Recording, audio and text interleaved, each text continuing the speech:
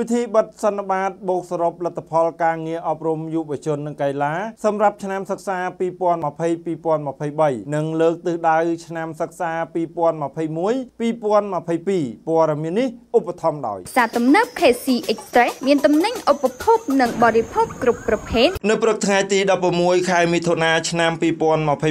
ឧត្តមញ៉ែមសំអឿនអភិបាលនៃគណៈអភិបាលខេត្តរតនគិរីបានអញ្ជើញជាអធិបតីក្នុងពិធីអង្គសន្និបាតនៃការបូកសរុបលទ្ធផលការងារអប់រំយុវជននិងកីឡាសម្រាប់ឆ្នាំសិក្សា2020-2023និងលើកទិសដៅឆ្នាំសិក្សា2021-2022របស់មន្ទីរអប់រំយុវជននិងកីឡាខេត្តរតនគិរីមានប្រសាសន៍នៅក្នុងពិធីបិទអង្គសន្និបាតដ៏មានសារៈសំខាន់នោះផងដែរឯកឧត្តមញ៉ែមសំអឿនបានថ្លែងនៅការកោតសរសើរចំពោះលោកលោកស្រីអាញាធរគ្រប់លំដាប់ថ្នាក់រួមនឹងមន្ត្រីអប់រំគ្រប់លំដាប់ថ្នាក់ដែលបានខិតខំប្រឹងប្រែងអស់ពីកម្លាំងកាយចិត្តនិងផ្ដល់នូវការគ្រប់គ្រងយ៉ាងធំធេងក្នុងការចូលរួមដឹកនាំនិងអនុវត្តការងារតាមជំនាញផ្សេងផ្សេងរៀងៗខ្លួនប្រកបដោយស្មារតីទទួលខុសត្រូវខ្ពស់ក្នុងរយៈពេល1ឆ្នាំកន្លងទៅប្រកបដោយភាពជោគជ័យឯកឧត្តមបានមានប្រសាសន៍បន្តថាតាមរយៈលទ្ធផលនៃអង្គសន្និបាតបានបង្ហាញពីភាពត្រឹមត្រូវនិងគ្រប់ជ្រុងជ្រោយលើចំណុចខ្លាំង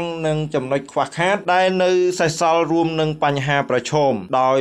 រួមគ្នាកំណត់ផែនការធ្វើការដោះស្រាយឲ្យបានកាន់តែសមស្របតាមស្ថានភាពជាក់ស្ដែង របស់អនុវិស័យនីមួយៗនិងជាពិសេសការសម្រេចគោលនយោបាយនិងយុទ្ធសាស្ត្រនានានៅក្នុងផែនការយុទ្ធសាស្ត្រវិស័យអប់រំនៅឆ្នាំ2019-2023ក៏ដូចជាអនុវត្តតាមអនុសាសន៍ដ៏ខ្ពង់ខ្ពស់របស់សម្ដេចតេជោហ៊ុនសែននាយករដ្ឋមន្ត្រីនៃប្រជាណាចក្រកម្ពុជាក្នុងការធានាសមត្ថភាពនៃការចូលរៀននិងការខិតខំធ្វើឲ្យសម្រេចតាមគោលដៅអប់រំសម្រាប់ទាំងអស់គ្នា និងគោលដៅអភិវឌ្ឍសាសវត្តកម្ពុជាប្រសាសន៍ក្នុងអង្គពិធីនោះអាយដាមអភិបាលខេត្តក៏បានផ្ដល់អនុសាសន៍មួយចំនួនជូនដល់អង្គសន្និបាតដើម្បីឲ្យផ្នែកនីមួយៗយកទៅអនុវត្តទទួលបាននៅប្រសិទ្ធភាពរួមមានជាអាច1អាជ្ញាធរមូលដ្ឋានគួរតែជំរុញឲ្យមេដាបេដាអាណាព្យាបាលសិស្សនាំកូនកូនរបស់ពួកគាត់ទៅចាក់វ៉ាក់សាំងការពារជំងឺ Covid-19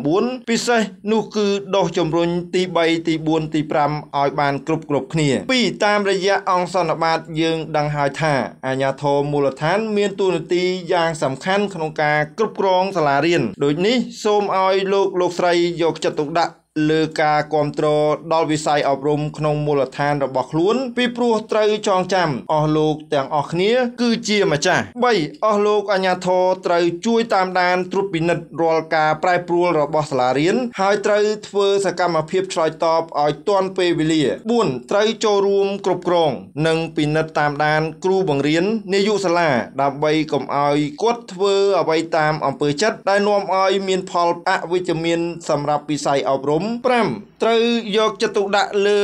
មតិសិក្សាសហគមន៍ព្រមទាំងបញ្ចូលសកម្មភាពអប់រំនៅក្នុងផែនការអភិវឌ្ឍឃុំសង្កាត់សូមស្វាគមន៍អស់លោកលោកស្រីអតិថិជនទាំងអស់គ្នាពីផ្សារ KC នៅផ្សារ KC យើងខ្ញុំមានផ្នែកនិងសេវាកម្មដូចតទៅនេះផ្សារទំនើប KC Express មានទំនិញឧបភោគនិងបរិភោគគ្រប់ប្រភេទមានតូបលក់សម្លៀកបំពាក់និងសម្ភារៈប្រើប្រាស់នៅផ្ទះមានតូបលក់បន្លែផ្លែឈើស្រស់និងត្រីសាច់គ្រប់ប្រភេទមានចំណតរថយន្តធំទូលាយមានជណ្ដើរយន្តឡើងចុះយ៉ាងស្រួលពីជាន់ក្រោមដីដល់ជាន់ទី4មានបន្ទប់ជួលធ្វើការិយាល័យតាមតម្រូវការ មានសាលប្រជុំធំដែលមានចំណុះដល់ទៅ500នាក់មានអាងហែលទឹកក្លឹបហាត់ប្រាណស្ទីមសូណាវីពីងប៉ុងលើពីនេះទៀតនៅផ្សារ KC យើងខ្ញុំក៏មានភោជនីយដ្ឋាន និង Sky Bar សម្រាប់ធ្វើពិធីផ្សេងផ្សេងតាមតម្រូវការជាក់ស្ដែងសម្រាប់ព័ត៌មានបន្ថែមសូមទំនាក់ទំនងតាមរយៈលេខ010